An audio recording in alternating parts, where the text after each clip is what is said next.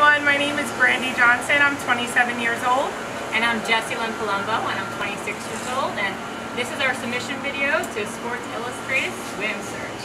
So we decided to do a video together to mix things up a little bit. Jessie is my best friend since college, um, and we really both want to be a part of SI Swim, but both believe that the other should also be a part of it, and we're here to tell you why.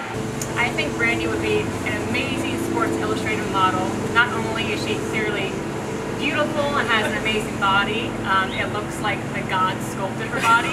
Uh, it's the truth. Um, but really, she's just an amazing person. Gonna, don't look at me, bud. um, Look over here. she works really hard, like in her personal life, going to school, working, and still somehow makes time for her friends and for working out. She'll wake up at like 4 in the morning to work out. So she works hard to get to where she is. That makes me look crazy. But... No, no, no, you don't. Oh my god. But she's just like an amazing woman, a real life Wonder Woman.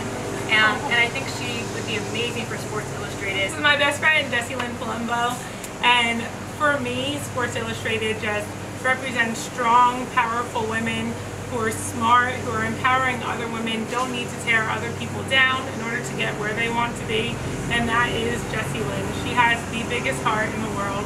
She is such a great friend, she's loyal, she's hardworking, she has started her own photography business that she has made into an amazing booming business. She's beautiful as everyone can see this gorgeous girl right here. Um, and she would just be an amazing addition to the SI swimsuit team. So this is our submission video. Really hope um, Sports Illustrated family team and uh, MJ Day that like us and give us a shot. We would love to join the SI swim team. We love everything that you stand for, everything that you embody, and we think we would be great assets, and we would love to show you that.